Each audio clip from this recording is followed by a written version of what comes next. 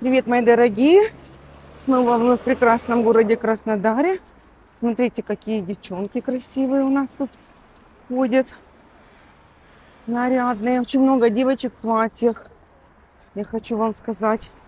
Поэтому те, кто будут ехать в Краснодар, вообще в Россию, не забудьте прибарахлиться, прикупить все платья. Вот, кстати, китайские машины,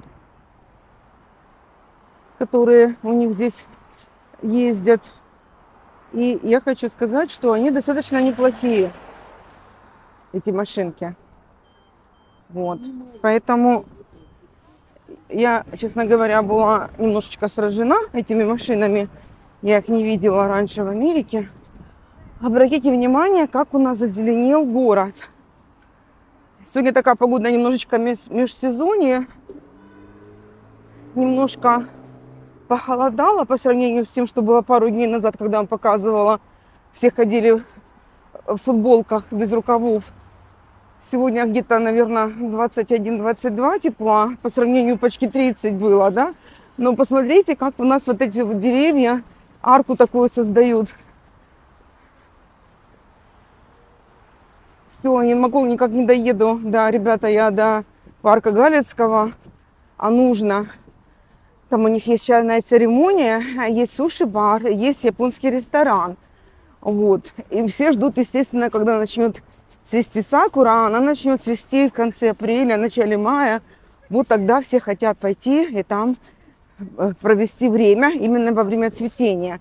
Ну, в самом парке сейчас цветет какая-то слива, там такая экзотическая, тоже все очень красиво, розовое и так далее. Ну, парк от меня далековато, потому что я в центре живу, парк на окраине города. В общем, надо добраться как-то. А я ночной житель, который всю ночь работает, а ночью, а днем спит. Поэтому э, в парк, чтобы ехать, нужно же днем ехать. Надо выбираться и ехать днем. В общем, сегодня, ребята, у меня такая как бы проблемка, которую я хотела с вами обсудить. Комментариях пишите, что вы думаете. Ну, как проблемка? Дилемка, да? Дилемка, скажем так. В общем, вы, наверное, слышали из моих предыдущих видео и стримов, что у меня дочка выходит замуж. И, знаете, разговоры шли туда-сюда. То они будут делать свадьбу то в Америке, то они не будут делать свадьбу в Америке. Были планы такие, что э, будет просто в мэрии роспись а э, поедут отмечать они в Исландию. Почему-то у них Исландия это страна их романтических каких-то воспоминаний или там каких-то романтических вот связано с их э, отношениями. Надо вот в Исландию, значит, ехать. И там весной красивые изумрудные луга. Вот, поэтому э, куплено было несколько свадебных платьев, чтобы сниматься, значит, в разных платьях на фоне этих, значит, лугов. Вот. И, э, как бы, знаете, такая вот, э, ну, не было такого точного плана, что мы все-таки будем делать э, свадьбу в США, а потом еще поедем в эту Исландию. То есть, как бы, насколько я понимала предыдущее все время, что мы разговаривали с дочкой, что просто будет церемония росписи, и потом, может быть, там соберутся после церемонии на там обед, Э, ближайшие родственники, и все. Ничего такого как бы не будет. Поэтому я, честно говоря, не планировала поездки. Я думаю, ну, наверное, я не поеду, если ничего такого не будет происходить. А вот все равно свадьбу не будут отмечать в Исландии. Даже у меня была мысль поехать в Исландию и уже с ними там провести время. Вот. И тут, значит, э, все поменялось у них резко. И мне, значит, дочка говорит пару дней назад, что мы решили, что будет все-таки свадьба, а, будет э, в ресторане ужин, уже все забронировано, все уже готово, подготовлено, открытки пригласительные, как полагается, вся вот эта вот э, беда, знаете, которая вот эта суета свадебная, а, там вот этот вот, э, как они, вот на сайт регистрация, регистры, да, регистрация, когда выбирают молодые подарки, какие они хотят, и вы должны, ну, гости будут покупать подарки. Гляньте, какие пахнут, как тюльпаны, это вообще непередаваемо. Сегодня вообще прямо Настолько погода, природа классная в Краснодаре. Травка зеленая, все эти растения цветут, все пахнет. Весна. Знаете, как классно. И зеленые эти деревья, которые уже вот-вот должны полностью листья выпустить, распуститься. Вот. Ну и, короче говоря, значит, все поменялось. По какой-то причине э, мне об этом не сообщили именно, что будет вот так все как бы по-другому, да. А дочка, наверное, была занята своими э, планами и подумала, что она мне сказала, или подумала, что я догадалась, что э, все-таки будет как бы такая вот свадьба конкретная с рестораном, со всеми делами. Вот. Ну, она была несколько недель в Мексике с подружками, девишник они там отмечали. У нас, знаете, этот, э, в Америке обычно есть такое party, и когда невеста выходит замуж, то для нее подружки устраивают вечеринку, ну, или они все вместе, и там они э, напяливают на невесту фату, потом, значит, э, такую вот ленту через, этот, э, э через плечо, bride, future bride, или bride to be, вот эта невеста, значит, скорая будет невеста. Вот. И э, девочки ходят вместе там на маникюр, педикюр. Обычно у нас русскоязычные ездят в Майами, ну, кто состоятельный, особенно еврейки русские, они туда ездят в Майами и устраивают там все это дело, потому что там есть русские рестораны у нас, вот, и они там гуляют, и там нужно э, всю ночь напролет гудеть, Э, еще иногда заказывают лимузин, и они с лимузином туда-сюда ездят. Это э, невеста в этой фате, короче говоря. Ну, в общем, э, такая вот, как для мальчиков вечеринка, такая для девочек обычно. Она вот была в Мексике со своими подружками американскими. Вот. Потом туда приехал еще к ней жених, они еще там женихом побыли. И, в общем, видать, все поменялось. Мне толком никто ничего не сказал я как бы не собиралась лететь.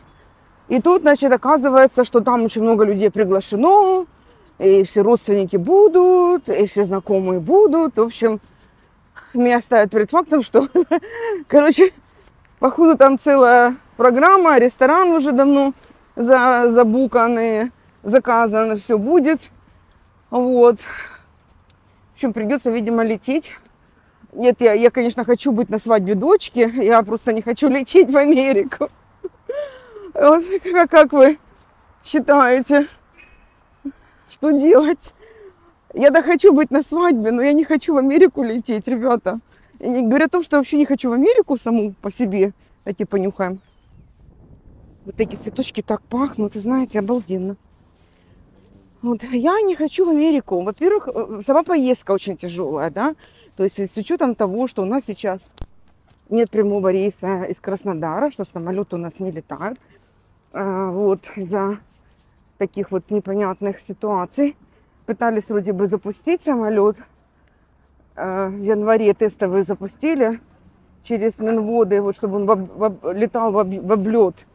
Но не дали добро наше Министерство обороны, протестировали, э, как далеко могут лететь всякие там э, плохие ракеты.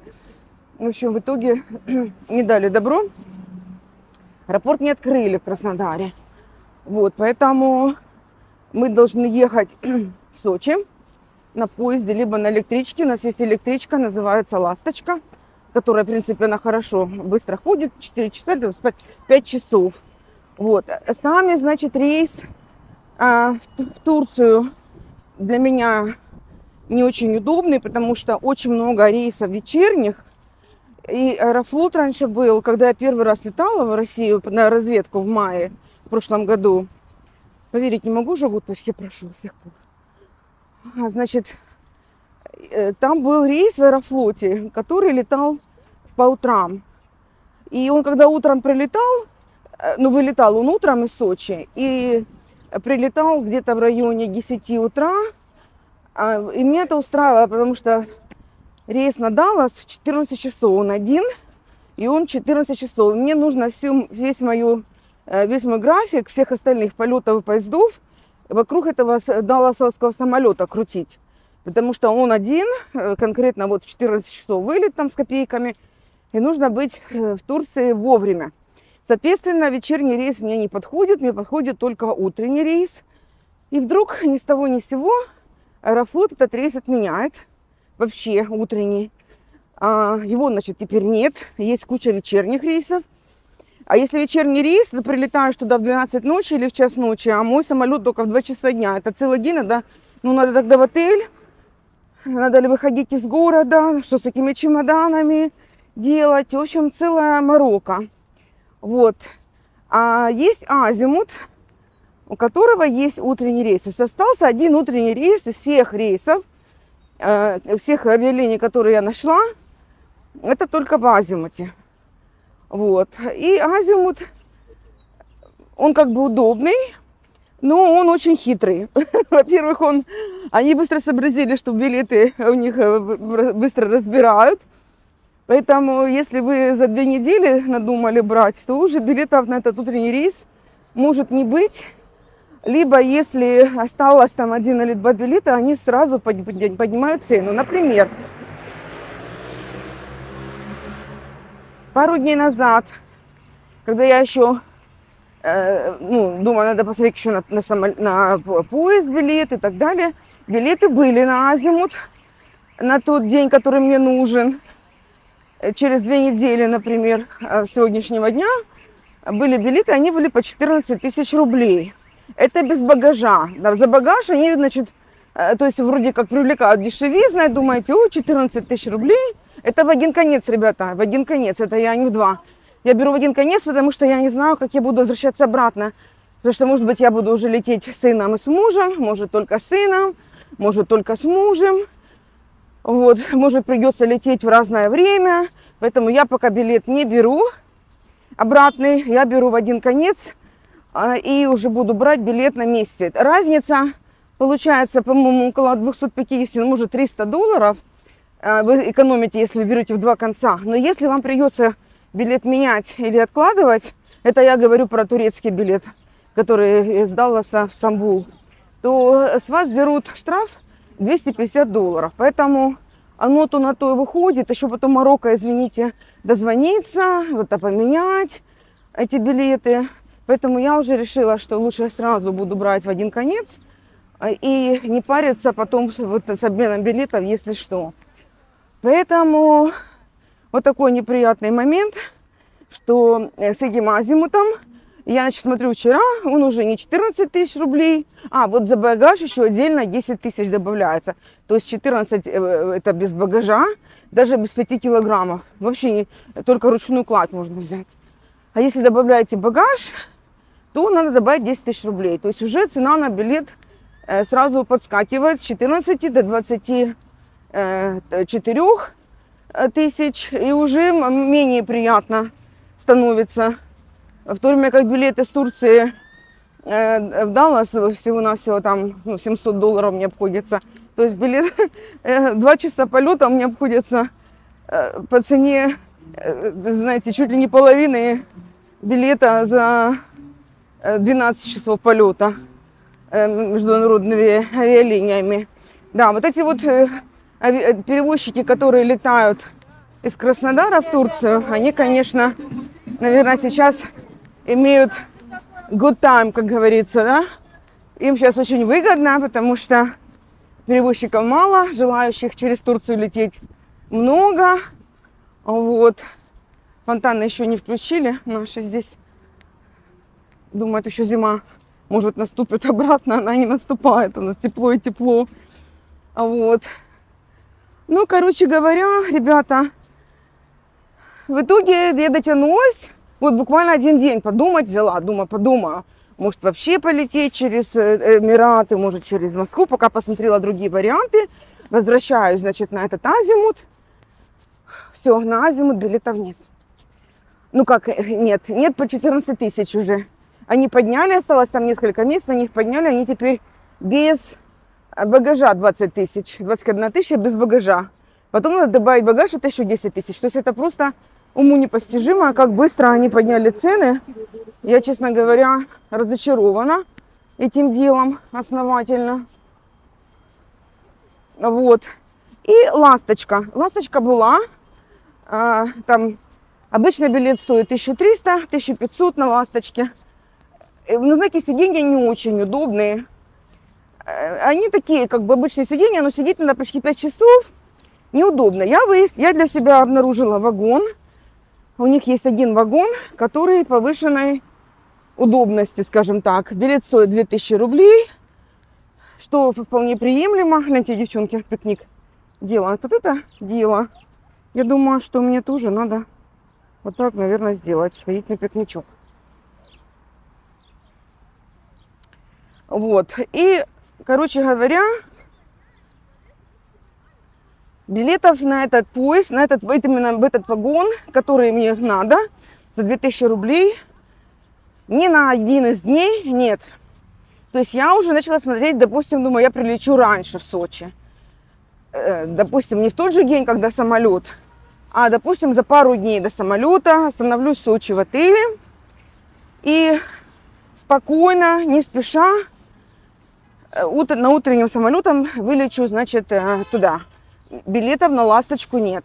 Ну, то есть на некоторые, на некоторые поезда нет вообще, на эту вот ласточку утреннюю. Есть две ночные ласточки, которые тоже приходят Э, приходят они, сейчас я вам скажу, во сколько. Они приходят, ребятки,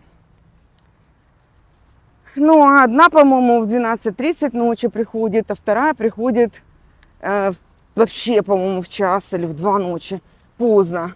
То есть вот эти обе ласточки не, не устраивают. Устраивает утренняя, которая уходит в 8.30 утра. На нее, значит, на некоторые дни, там, например, на 15-16 апреля уже нет билета вообще на дневную. Вот. А на ночную, а на э, 17, по-моему, апреля я хотела вот в этих числах ехать. Ну, какие детишки мелкие бегают. А в эти дни, значит, э, нет вот в этих комфортных вагонах. То есть э, есть вагон, но нет вот этого комфортного вагона, который за 2000 рублей.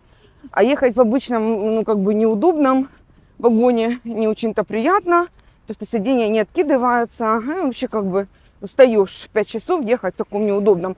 В том, который удобный, там э, сиденья помягче. Ребята, если вы не, не ездили, а, посмотрите, кстати, мое видео а, возвращение из США из США в Россию через Турцию. У меня там две части, э, начиная из вылета моего, от вылета моего из Далласа и заканчивая получение чемоданов в, э, в Турции и потом э, загрузка на Азимут в Сочи.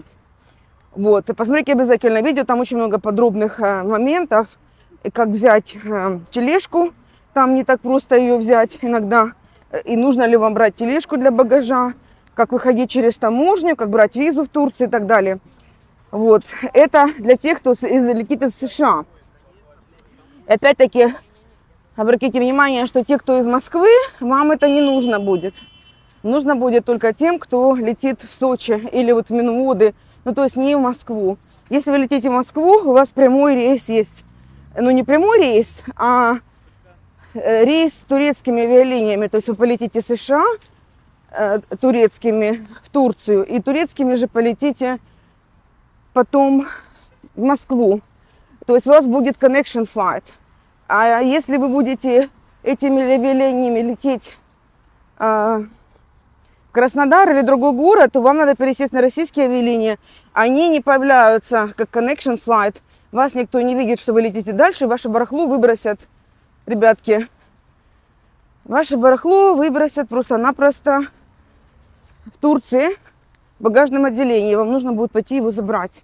Вот, у меня много как бы там вопросов по этому поводу. Там споры какие-то были. И на форуме на моем, э, тут не там, .ком, э, э, девочек, которые в США живут, там много споров было, криков, визгов, что как это так, а, не, не, не надо забирать чемоданы в Турции, просто летите напрямую, пересадка, потому что у вас connection flights. Connection flights, ребята, только в Москву. Потому что турецкие авиалинии летают из США в Турцию, из Турции в Москву. Но они у вас не полетят в Россию. Поэтому вы не мечтайте, вам придется Соответственно, перебегаем не по луженому месте. Ребята, дорогу. Вам придется там выходить в аэропорту, и там целая Марокко. И я про, это, про эту Марокко вам все рассказываю. Вот, сейчас я иду в секретное место, куда иду я с пятачком. Большой-большой секрет. Я иду менять доллары участников, ребята. Все это работает, как в советские времена. Можно прийти поменять по хорошему курсу. Вот. Все, до связи. Пишите в комментариях, что вы думаете по поводу моей поездки в Америку. Да еще это затмение 8 апреля. Лететь мне, не лететь. Еще погода там будет плохая, ураганы, торнадо. Я прям так трясусь, так боюсь. Не хочу лететь, не хочу есть их еду американскую. Но хочу быть у дочки на свадьбе. Вот, что вы мне посоветуете с этой дилеммой. Всем пока, до связи.